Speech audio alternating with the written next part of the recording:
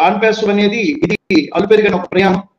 ఈ ప్రయాణంలో ఎప్పుడు కూడా ఆన్పేసులో ఏం జరుగుతుంది అన్నది మీకు ప్రతి దాంట్లో గ్రూప్స్లో అన్ని మనకు వస్తున్నాయి.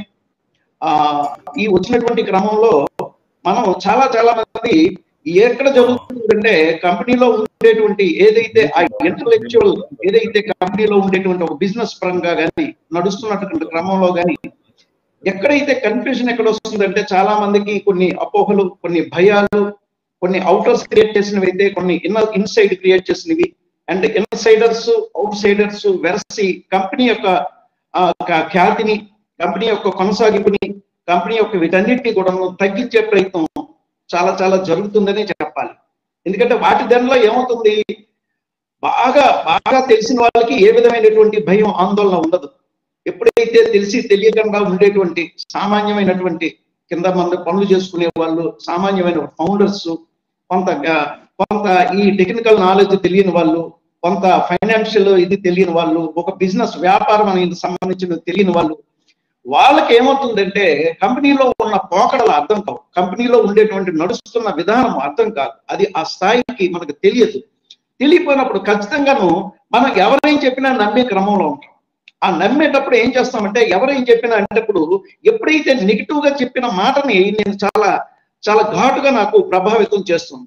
స్ట్రాంగ్గా చెప్పినటువంటి ఒక తొంభై తొమ్మిది కంటే కూడా ఒక్కటి నెగిటివ్గా చెప్పినటువంటివి కొంచెం ఎక్కువగా చేస్తుంది. సో అటువంటి అటువంటి ఆలోచనల వైపు మీరు ఎప్పుడు కూడా మనం వెళ్ళకూడదు.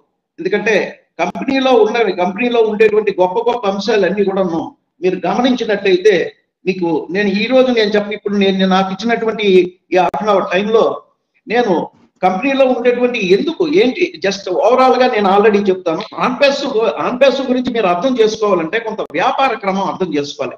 ఎందుకంటే బిజినెస్ గురించి మీరు కొంత అర్థం చేసుకుంటేనే కానీ బిజినెస్ ఎలా చేయాలి బిజినెస్లో లోటుపాట్లు ఎలా ఉంటాయి అలాగే మనీ వాల్యూ డబ్బు విలువ ఏంటి అసలు ఆ టైం విలువ ఏంటి నడిపే విధానం ఏంటి నడిపే ఉండేటువంటి ఎన్నెన్ని అడ్డంకులు ఉంటాయి ఇవన్నీ కూడాను మనకు చాలా చాలా తెలుస్తుంది.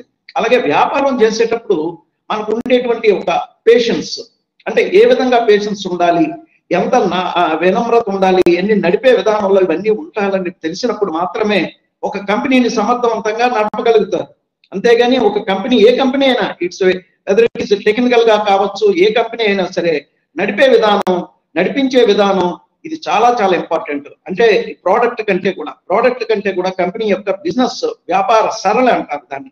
ఆ వ్యాపార సరళ అనేది చాలా చాలా ఇంపార్టెంట్ ఈ రోజు మీరు మీరు గమనించినట్టయితే ఓవరాల్గా ఒక పిక్చర్ గమనించినట్టయితే ఆన్పెస్లో ఒక స్ట్రాంగెస్ట్ వేవ్ వెళ్తున్నప్పుడు ఒక చిన్న అలా అంటే ఒక చిన్నదైనటువంటి డిస్టర్బెన్స్ని క్రియేట్ చేయడం జరిగింది.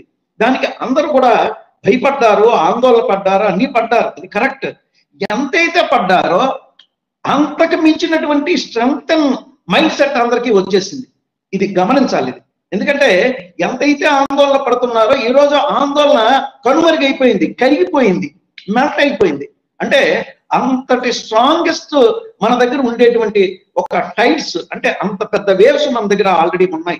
This is the strength of the Onpassive and the this the community power of the Onpassive ఇందులో ఉండేటువంటి ఆన్పాస్ ఫౌండర్స్ కానీ అందరూ కూడా నేను ఏమంటున్నానంటే అందరూ విద్యావంతులు అందరూ వ్యాపారవేత్తలే కాకపోవచ్చు కాక కానీ ఆన్లో ఉన్న వాళ్ళందరూ కూడా ఆలోచన పరుడు మంచి హృదయం కలిగిన వాళ్ళు మంచి సంఘటిత శక్తి కలిగిన వాళ్ళు.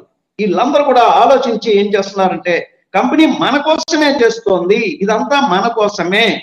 ఇది ఏవే పరుల కోసం కాదు. ఈ ఈ స్ట్రగుల్ పడుతున్నదన్నీ కూడాను మన కోసమే మనల్ని ఒడ్డు చేర్చడం కోసమే అనేటువంటి ఒక ఒక అద్భుతమైనటువంటి ధారణా శక్తితోటి కలిగి ఉన్నారు. ఇది ఈ రోజు ఈ మధ్యలో ఈ క్రమంలో జరుగుతుండేటువంటి పట్టు.